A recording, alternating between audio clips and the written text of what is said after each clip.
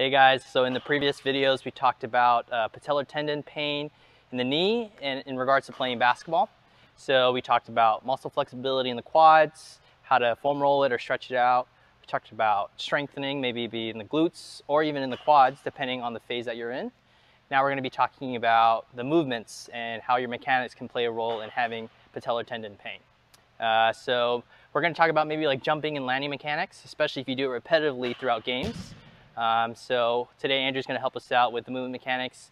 So what, we, what you can do is maybe get analyzed by a physical therapist, uh, movement expert, just to see how you're moving and how it can play a role into some pain that you're experiencing.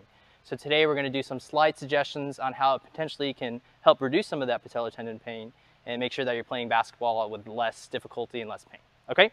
So let's say if you're going for a, a rebound and you're jumping, a lot of the times when people get knee uh, patellar tendon pain, they typically jump and land really quick and short. They don't really jump and land into a nice squat position or a hinge position that we talked about earlier. So say for example, Andrew, he jumps and he grabs the rebound, you face me. Let's go the bad way, or what can potentially hurt you. So see how his, his uh, knees go past over his toes. Let's say he does that repetitively throughout a 48 minute game. Go ahead and do that. That can put a lot of stress to the tendon.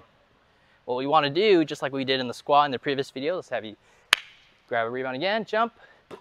Good, so see how he's landing in the squat position?